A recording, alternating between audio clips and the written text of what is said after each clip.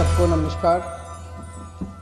अभी कुछ दिन पहले दिल्ली के लोगों ने मिलके प्रदूषण के खिलाफ एक महा अभियान शुरू किया था, युद्ध प्रदूषण के विरुद्ध। उसमें आने वाले समय में हम सब मिलके बहुत सारे काम करेंगे। इलेक्ट्रिक व्हीकल पॉलिसी है, उस वो लागू हो रही है ट्री प्लांटेशन है, पराली से निपटने का की बात है। बहुत सारे हमने काम, बात, काम कहे थे। उसी में एक कंपोनेंट था ट्री ट्रांसप्लांटेशन पॉलिसी का।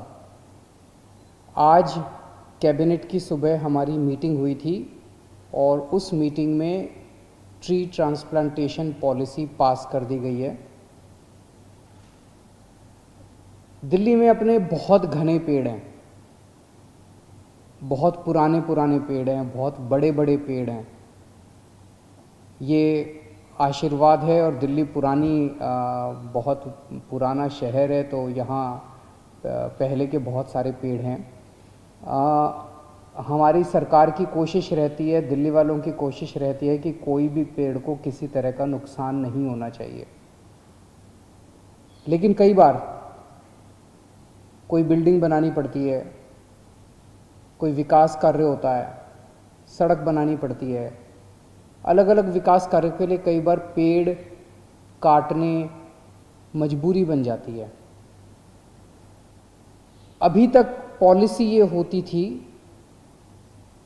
कि अगर एक पेड़ कटेगा तो उसके बदले में कॉम्पेंसेटरी दस पौधे लगाए जाएँगे। अब पेड़ तो था इतना, ऊँचा 400 साल पुराना 500 साल पुराना। प्रकृति ने कितना उसको संजो के इतना बड़ा बनाया था। और हम छोटे छोटे पौधे लगा देते हैं, दस। उससे बात तो नहीं बनती। पेड़ पेड़, वो दस पौधे, पता नहीं अब कितने टाइम में बड़े होंगे।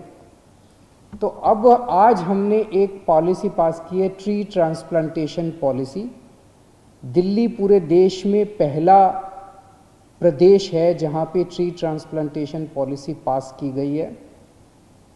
इसमें हमने कहा है कि कॉम्पेंसेटरी एक पेड़ कटेगा तो कॉम्पेंसेटरी दस पौधे तो लगाने ही लगाने हैं। उसके एडिशन में उस पेड़ को काटना नहीं है।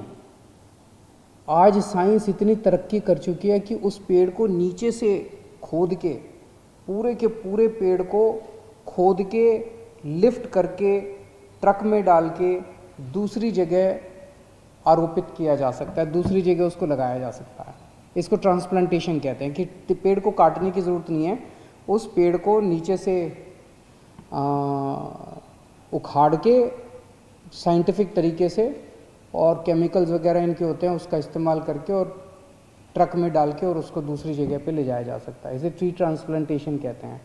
तो आज पॉलिसी पास की गई कि कम से कम 80 परसेंट पेड़ कहीं भी किसी भी प्रोजेक्ट में जो भी प्रोजेक्ट होगा, उसमें 80 परसेंट पेड़ कम से कम ट्रांसप्लांटेशन किए जाएँगे। और जो पेड़ ट्रांसप्लांटेशन किए गए, उनका 80 परसेंट कम से कम जीवित रहने चाहिए। ऐसा नहीं कि कर दिए, खाना पूर्ति कर दी, फाइलें पूरी हो गई, और कम से कम 80 परसेंट ट्रांसप्लांट करने हैं, और उनका 80 परसेंट जो है वो ज़िंदा रहने ज़रूरी हैं। ये एजेंसी को, जो भी एजेंसी हमसे परमिशन लेगी, उसको ये इंश्योर करना पड़ेगा। अब दिल्ली सरकार ऐसी एजेंसीज जो कि अच्छा ट्रांसप्लांटेशन करती हैं। नेशनल लेवल की एजेंसी हैं, उनकी, उनका ट्रैक रिकॉर्ड अच्छा है, उनका एक्सपीरियंस अच्छा है।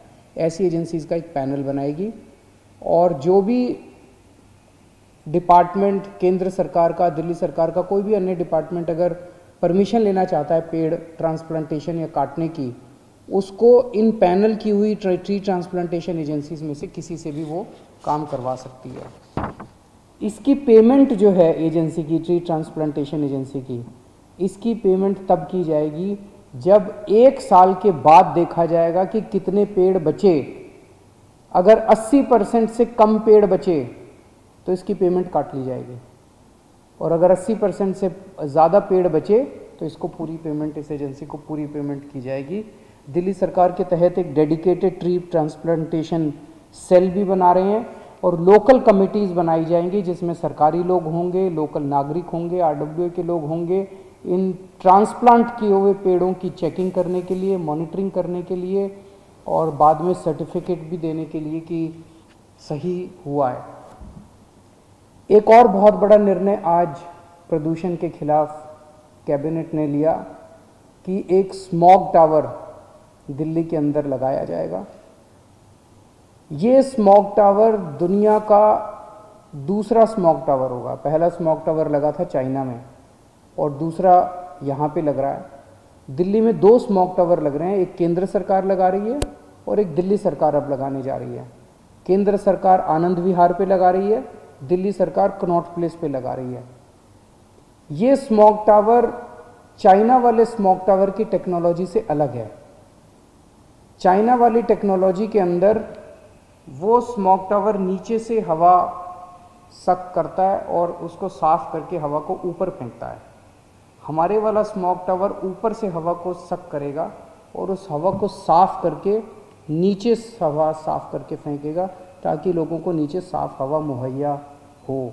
तो अपनी तरह की टेक्नोलॉजी का ये पहला स्मॉक टावर होगा।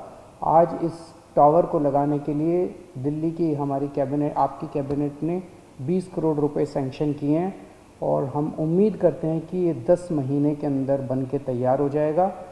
इसे हम एक पायलट प्रोजेक्ट बोल रहे हैं, क्योंकि अगर ये सफल हुआ तो इस किस्म के फिर कई सारे स्मॉक टावर दिल्ली के अंदर लगाए जाएँगे। बहुत बहुत शुक्रिया।